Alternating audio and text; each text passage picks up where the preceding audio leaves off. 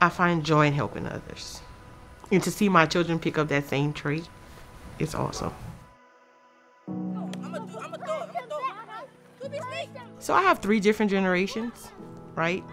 I have my 20 year old son and my 17 year old daughter. And I have my 12 year old daughter and my 10 year old son. And the baby's all by herself in her own little world, right? Their hearts are so pure. Their personalities, all different. But the one thing they all possess is their passion to love and care for others, how open they are. Um, and it makes me proud as a mom.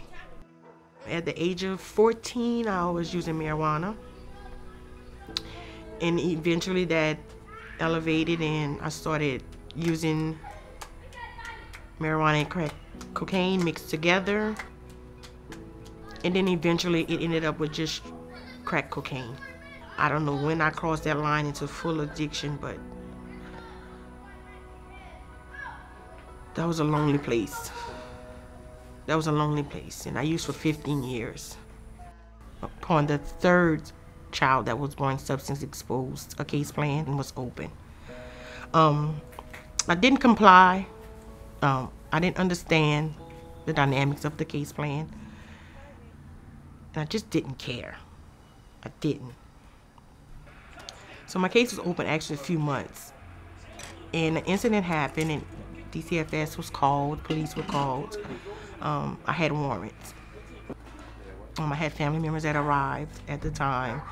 Um, they heard of the chaos that was going on and were there to take my kids. You know, they were there to get my kids. What better way to get my attention? What better way for me to change but take something that I loved? When my children were removed, my life changed. And when I made that vow and surrendered to God, doors opened. My life changed. I stayed in treatment a year and four months. The best time of my life. I got to create a new identity. I was no longer that person that used drugs. I learned how to do parenting skills. I learned how to care for my children, nurture my children. I got a job. I saved money. Got a new house. I did. I took that suggestion and changed my people, places, and things. That was such an accomplishment for me.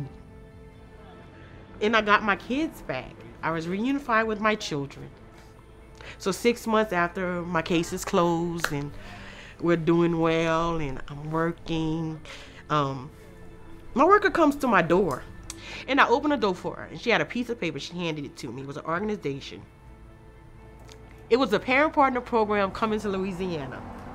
And the judge and the staff at the Department of Children and Family Services here in uh, New Iberia, where my case was open, decided I would be a good candidate for this job. So I know just being that support to a parent, it makes a difference. I didn't have anyone there to hold my hand throughout the process. 10 years ago, it was here's your case plan. You either complete it or all your kids get removed. You just basically do as you're told. Um, you didn't have any say so. Um, it was it was lonely. It was hard. You're there for them. At their lowest point, you can say, "Hey, I've been there." Because I, I know for me, it was the same, right? You get this young person in front of you with this case plan telling you your kids are being removed. It's like, who are you? Have you been on drugs before? Do you even have kids? And the first thing they want to tell you is, I know what you're going through. No, you don't. No, you don't. So a parent partner could actually say, I've been there. Let me show you. I know it's difficult, but you have to trust the process. This is me. This is who I am. Um, I don't think I ever get to sit down. And I don't want to. There's so much needs to be done. I stayed down 15 years. It's no excuses. I've got work to do. Um, I got families to reach. I have policymakers that need to hear my voice of, of laws that's coming into child welfare system. Um, I have work to do. It's, it's, it's just who I am.